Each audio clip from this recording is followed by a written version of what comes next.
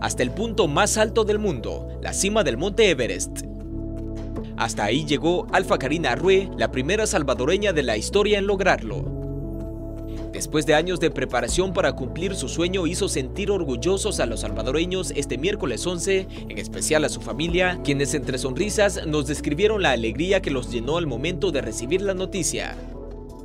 Sí, cuando nos despertamos con los gritos de mi hija, empezamos a, buscar la información y vimos el Twitter que había mandado, eh, ¿cómo se llama?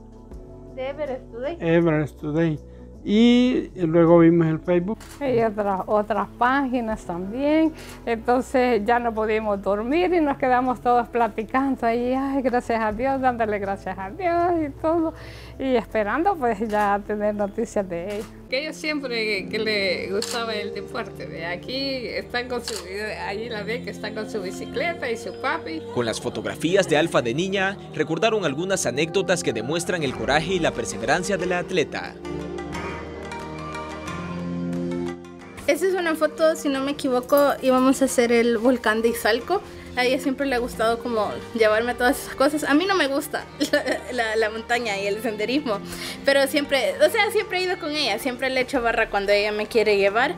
Pero es bien gracioso porque ella, ella siempre me dice, es corto, ya vamos a llegar. Y después pasan como dos horas y ya estoy muriéndome. Pero al final, al final es una experiencia bonita, ver.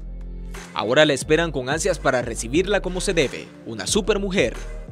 ¿Qué van a celebrar cuando regresen? Ah, sí. ¿Qué tienen planeado hacer? Ahorita que contentarnos bastante con que venga sana, ¿verdad?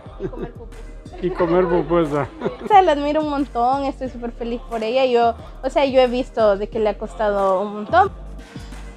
La temible montaña está a 8.848 metros sobre el nivel del mar en la cordillera del Himalaya en la frontera compartida entre China y Nepal en el continente asiático. Este es un informe de Ricardo Grijalba para la.